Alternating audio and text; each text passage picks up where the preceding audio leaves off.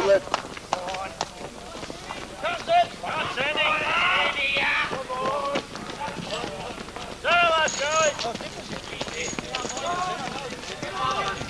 Come on, come on, let's go, Lyle.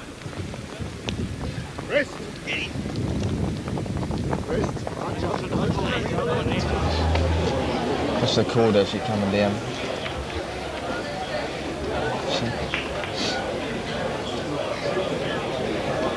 Welcome everyone here to uh, Prahran Park this afternoon. Sandringham versus Prahran, the seconds game here this afternoon. Sandringham had a good win, 22-16, 148, defeating Prahran 8-14, 62. So good win to the seconds there as seniors game's about to start. Ground's in pretty good nick here. Centre's in pretty good nick, a lot better than what it used to be as the bounce of the ball goes down straight to Cracker.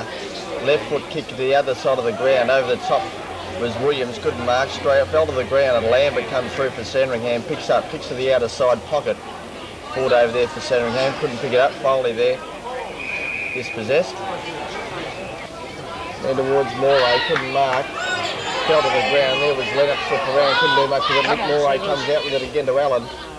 Allen to the forward line, forward over there with McCormack.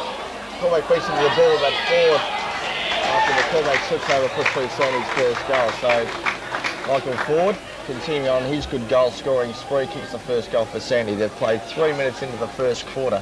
Stood on his mark and lifted off the ground.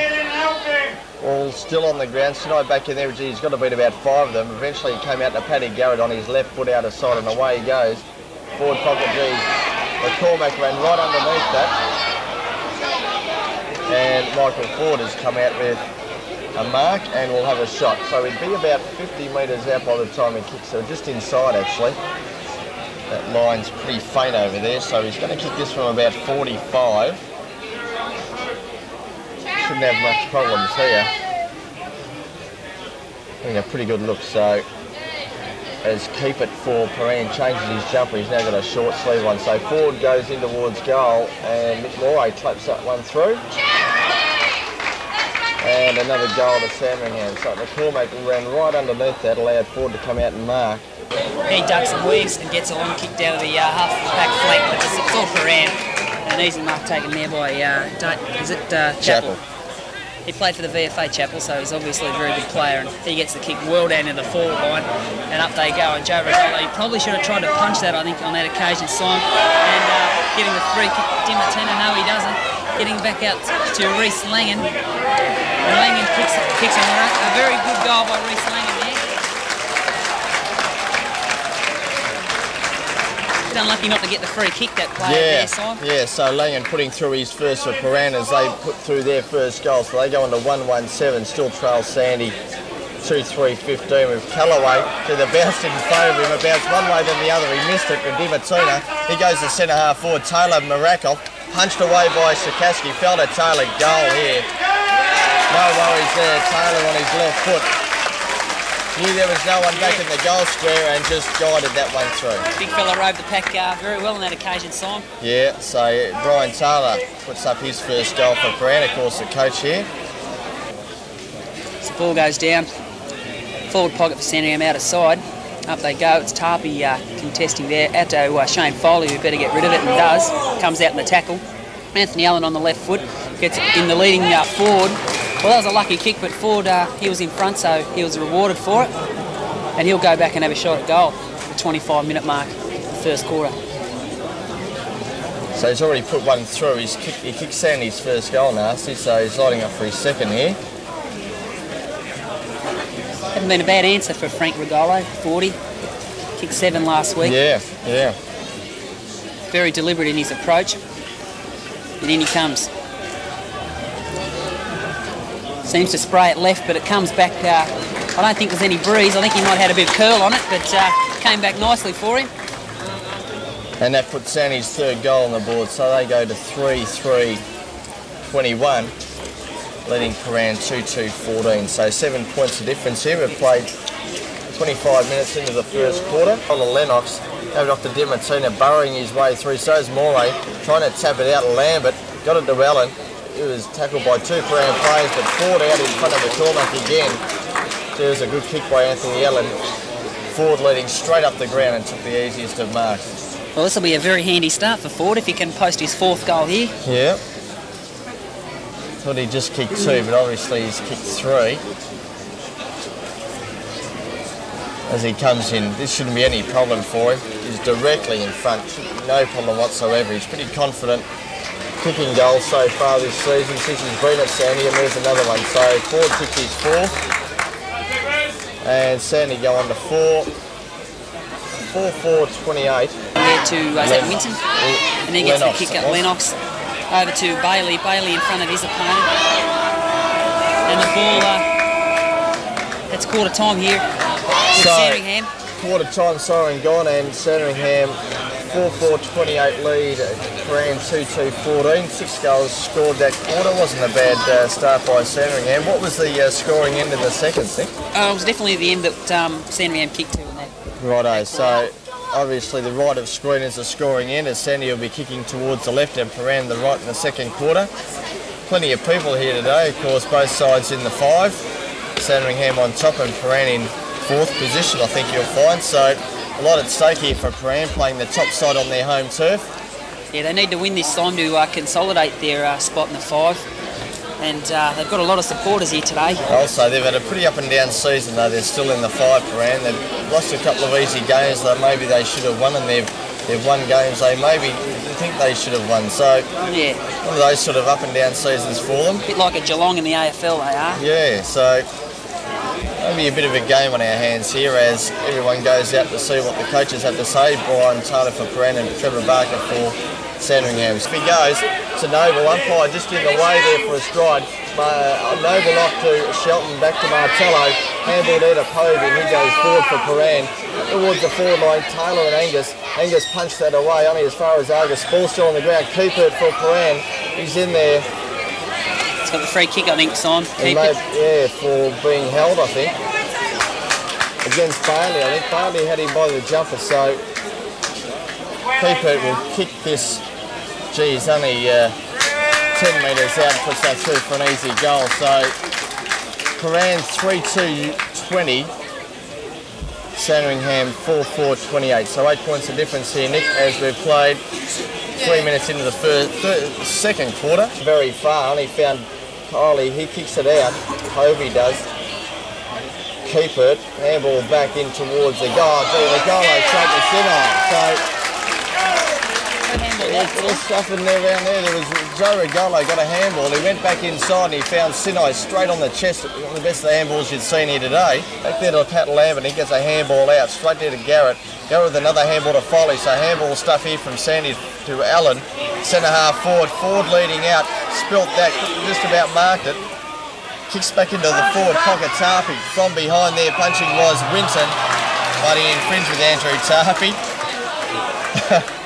And Tarps will come back and gee, he's right in front here. The goals will open right up for him here, I'd say.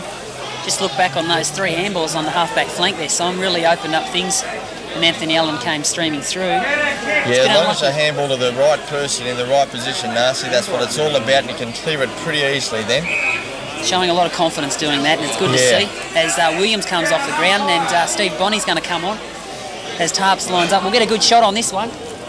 Got the video uh, right behind uh, Andrew Tarpey here. So you just about be able to tell straight away if this is going to be a goal. And in he comes the big fella, and that is a goal. It's dead centre, he split dead centre there. That ball did not variate, deviate one bit, so he steers the ball through instead of really kicking at Tarpey and gives a reward by kicking a goal. So that's his first. It's, uh, Kylie, who has played very well, and he kicks the ball down to the centre half forward area. Up goes Markov, but it's punched away by his former fellow Richmond teammate Sikorsky, but it comes out to a Prahran player there, who has a shot goal, and that is the goal. Good goal there by uh, Probert. So uh, 5-2-32 Prahran now, Sandringham 5-5-35, so it's uh, really starting to tumble down. So back in it comes, but it's not unusual for it to rain out here every time Sandringham play. Think they predict that.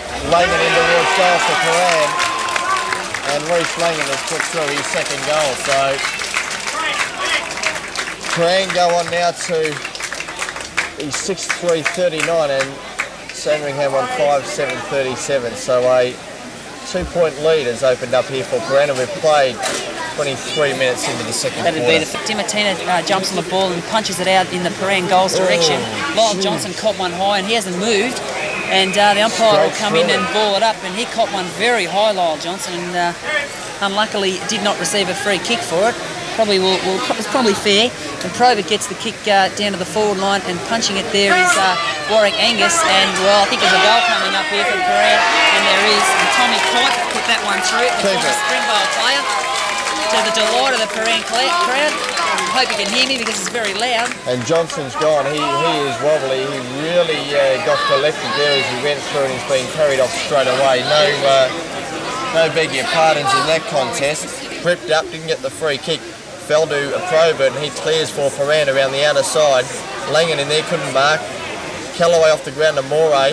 Came to McKenzie. Kick around the corner. Up will go Garrett. Winton punched that. Behind there is Ford. Gee, he was swamped by two Prahran players, but eventually got his kick in and put it through for a goal. So Michael Ford continues his goal kicking spree here. He's kicked five. Gets held without it. Doesn't get the free kick. Maybe that's uh, a bit unlucky for him. Well, he put the ball out in front of him, though, Simon, on that Yeah. occasion. He, he just uh, threw the ball out in front of him, so I think the umpire made the right decision there as the siren goes for half time, and it's a very, very entertaining game with uh, Prahran leading by one point. And, uh, well, what can you say, Simon? Well, now that the rain started uh, nasty, I think it's going to be a game that just comes down to who's going to be the fittest on the day, who wants to win, because the ball's going to be pretty slippery. So Sandringham scored two goals, four in that quarter, and Prahran scored five goals, one. So Prahran had a bit of scoring power in that quarter, obviously kicking to the right end of the ground, as you said. So not a bad effort by Prahran in that quarter, kicking five goals to Sandringham's only two. So to say it's going to come down to I think just who really wants the ball, who wants to get on the bottom of the packs, and to keep the ball, you know, low as uh, Prahran players come in and Sandringham players go to the other side. So a good quarter of footy, and it's really set it up. Sandringham again behind, uh, against, of course, behind against Williamstown on both occasions and against Springvale. So they've they got out of that okay.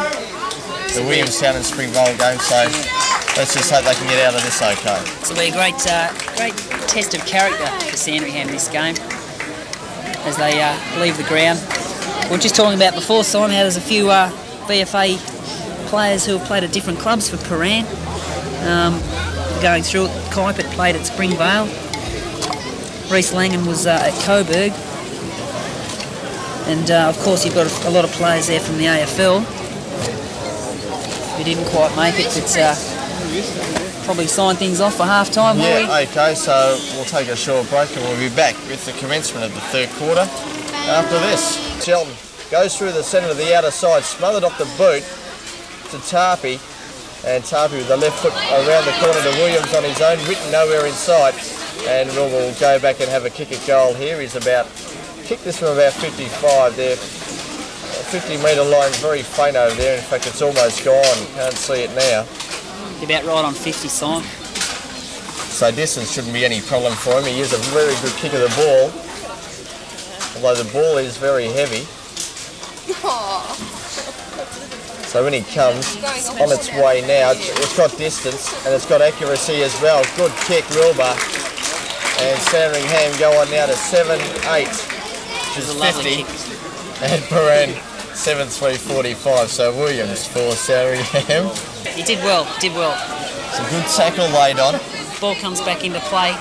Up they go. Very high leap there. Oh. Goes out to Sinai. Sinai gets a kick and that's going to go through. Yeah, that's a goal, isn't it?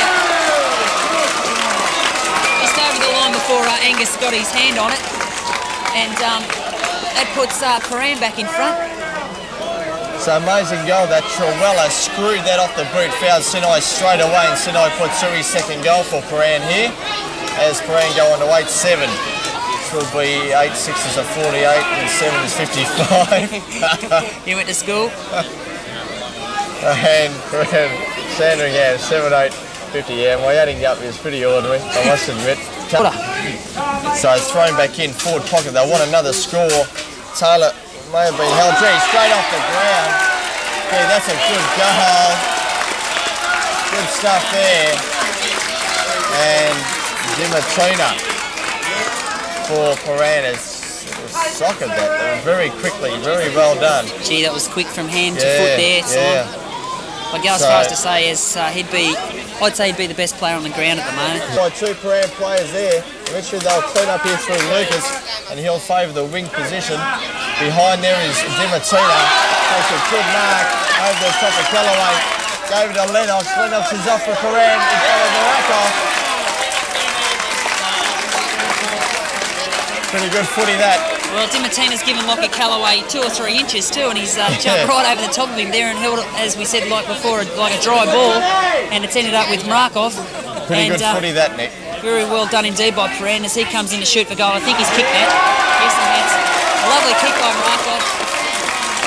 Well, we're That's sitting right in the. Uh, that's his first goal. We're sitting one goal three. He's kicked, so uh, he'd be happy to have his first one on the board. As uh, we're sitting right in the uh, in the grandstand with all the Prahran supporters, and you probably can't hear us uh, when they kick a goal. But You uh, certainly know when they do though. Out of that pack, so crack a left foot around the corner. Williams on his chest as the siren goes for three quarter time. So a pretty entertaining game of footy that quarter. Prahran still got the edge on Sandy. In fact, Prahran kicked three goals, four, so they had seven shots. Sandy kicked only one goal, they had one shot. So since half quarter time, Prahran have kicked eight goals, five, and Sandringham have only kicked three goals, four. So they've had the edge on Sandy since quarter time. Prahran they lead 10-7, 67 to Sandringham 7-8, 50. There is uh, Lucas. Lucas gets a quick uh, kick out there to um, Coley, and Coley's played fairly well. It goes down to Bailey and Kuiper, comes out with the ball. He's got a bit too much pace for Bailey and heads out there to Sinai, who will he be paid it? No, he won't. He juggled it three times. Ball comes back out there to Johnny Markov, who actually sells the ball, runs for Argus, goes for the right foot banana on the run. Taylor behind, takes a mark. Well, had his name on it, Simon. Yeah, pretty good mark. The only problem was going. yeah. Yeah, sorry, Son. The only problem was probably going to be whether it would stick because it's a slippery ball. Yeah, good strong mark Taylor. So he goes in towards goal, puts it on its way, and the umpire will put up two fingers. So that's his second goal today, Taylor. Takes Prahran on to 11-7-73. And they're really opening up here now. 23 points in front of Sandringham. Kuipert and Bailey. Bailey puts the ball down and picks it up again, gets a quick kick out there. Dimartino and Tarpey. Tarpey has the better of him on this occasion. Over to Paddy Lambert. No, Paddy Garrett, sorry. Paddy Garrett to Callaway. Lockie Callaway, who comes racing through, and uh, Joe Regolo will contest this and receives the free kick. Yes. Well, uh, what did you think of that one? Yeah, yeah, pretty well delivered. It was either a mark or a free kick. He was being held. There was no doubt about that. No doubt about that. Mar Martello did hold him. So, this will give Sandringham just a little bit closer if he puts this through. They're 20 points behind. This will make it 14 and just make the game a little bit closer. So, find out how good they really are, Sandy, as Regolo has put that through, no doubt about that. And that's Sandy's 8. So 8 11 59 to 11 7 73. So 14 points of difference, and that's Joey Regolo's first goal. So ball about to be bounced again. Well, not thrown up. In fact, we won't bounce it. And Tarpey up, got, got that tap to Bon- Bonnie. So volleyball stuff, he completely missed it. Langan fell to McKenzie. Chirwelli got it out. Then towards Bailey and keep it. Sinai got the ball now for Brown. He heads towards goal. Lambert in hot pursuit on the right foot and has put it through. So Sinai for Prahran. So they rebounded that goal pretty quickly. They go on now to 12-7-79. And that's his third goal tonight. Sandringham 8-11-59. So they got that goal back pretty quickly and still again 20 points of difference into the last quarter. Punch straight down to Noble and he'll clear for Prahran back into the centre. Racing out there is Bailey. He may get there first in front of Keep It. He does, but Keep It uh, better pace on the float, gets the ball, picks it up and swings around on the left. And gets it back again off a rebound, goes in towards goal And it's kicked it. and doesn't miss that. So that's it for Sandringham. I think Prahran have really uh, through that goal and sealed this game right up. Sandringham can't, can't go forward. They just can't kick goals when they do. But Prahran continue to kick goals. That's their 13th last quarter when you're trailing by 25 points. And up it goes. You can throw a blanket over 30 players here as uh, Williams gets a tap down to Flopper McKenzie, who gets it to Paddy Garrett, who'll kick on his favourite Oh, good favourite kick. foot. That's a that good was, goal. That was a good goal. That one. You would have seen. You would have had a good look at that one. That was a ripper. So Sandringham 9 13 67, still trail Prahran 13 8 96. That's his first goal today, Paddy Garrett. So he only had, well, I think probably only about four or five goal scorers. In fact, uh, five goal scorers they've had. So kicking the centre half forward, Lennox there, he's played a good game too. Grenoble, gee, playing that off okay to Shelton. Shelton goes to centre half forward, Taylor leads out, pushes that away as the siren goes to end the game and Taylor has just a go at.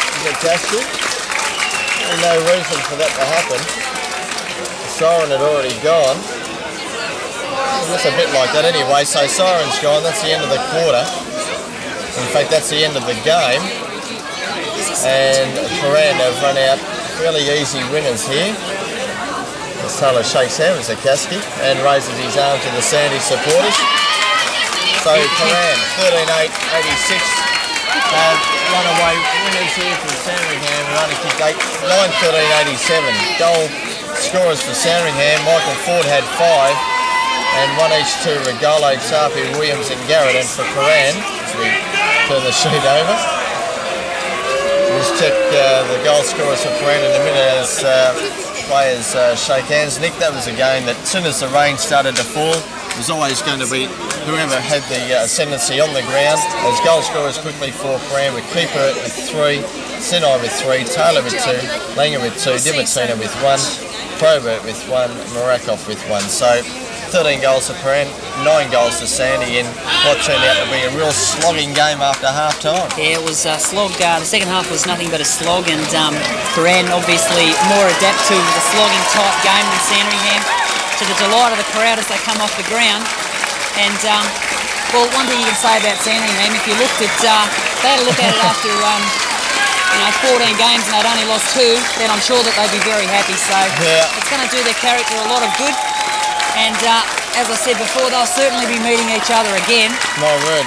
on a dry ground. It could uh, could help Sandringham. could be a little bit more different. So that's it here from Prahran. It's been quite a good game as uh, Prahran will swap places with Box Hill and maybe move to third on the ladder. Sandringham will still remain on top and Williamstown second after they had a good win over Port Melbourne yesterday. So on behalf of Simon Petch, Nick Cullinane and our statistician Jack Burke, uh, we'll sign off here from Prahran and hopefully see you down by the beach next week at Frankston for Sandringham versus Frankston.